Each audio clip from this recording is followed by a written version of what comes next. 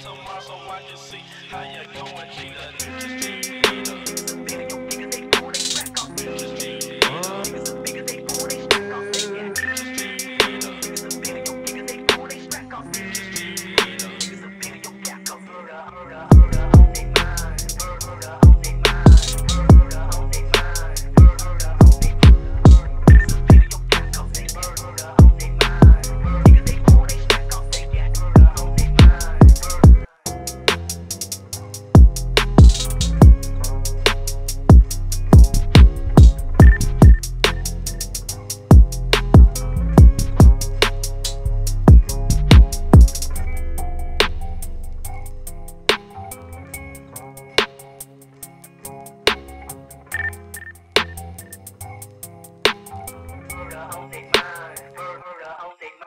Yoda.